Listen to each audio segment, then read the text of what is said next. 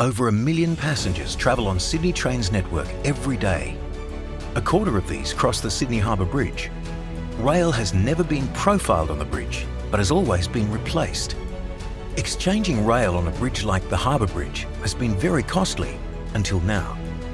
2019 saw the rail on Sydney Harbour Bridge being successfully profiled for the first time in its 87-year history. Through rail milling, rail life is significantly extended at a fraction of the cost of rail replacement. Plus, there are many technical and environmental benefits, including a quieter and superior ride for passengers and an improvement on reliability for the operator.